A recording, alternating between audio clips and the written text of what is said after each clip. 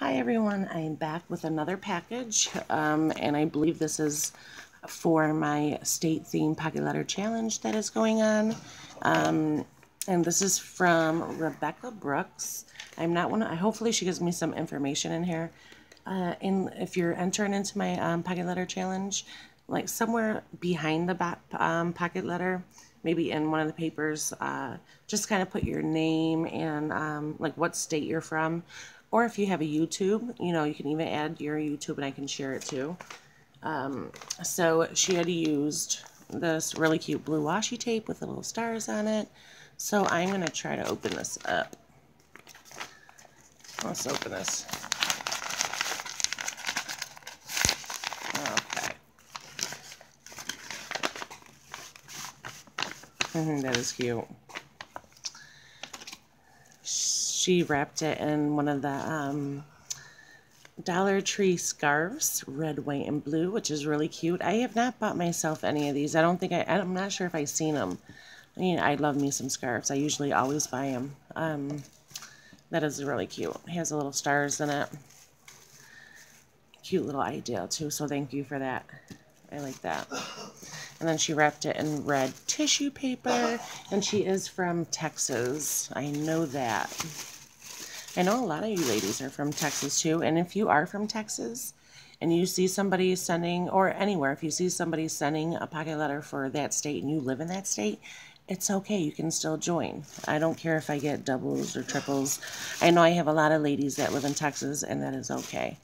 So as I open it up, it looks like this. It looks like she did the red, uh, white, and blue theme. Let's open it this way. Okay, this flower probably goes there. Look at this. So this is, um, I'm just kind of sucking it all in, guys. These, I'm so glad I did this because it's so much fun. Not only is it fun, I'm learning a lot from each state. Um, so the Cowboy Stadium, right there. And then the state flower, it has a little flower. It's blue. I'm not sure what. Give me one second, baby. No, mommy has to wash that. Um, it's early in the day, guys. So my husband is home and my daughter is up. You may hear them in the background.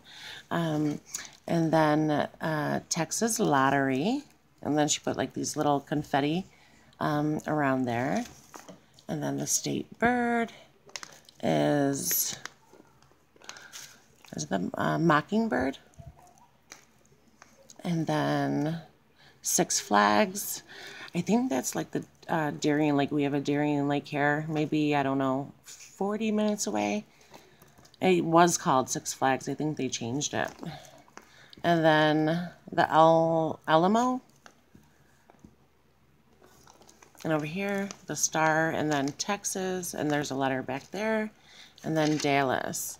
And that is um, probably like the downtown or the main um, attraction of Dallas.